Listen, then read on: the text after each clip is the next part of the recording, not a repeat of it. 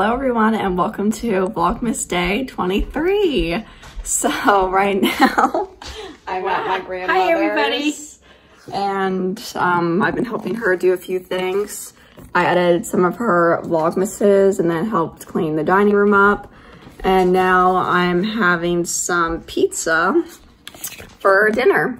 So right now we are putting this orange on the stove top to try that thing on TikTok where if you um, burn the whole outside of the orange and then you cut it up, you can get your sense of taste and smell back. So we're going to try it.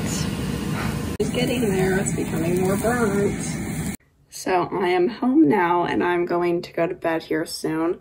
I know my mom just painted my nails for Christmas Eve. That is tomorrow. I cannot believe that it's finally here. And earlier today, my grades were submitted and I got all A's. So I'm very happy about that. Not even an A minus. So that is really good. And I'm going to go to bed now and I'll see you guys tomorrow for Christmas Eve.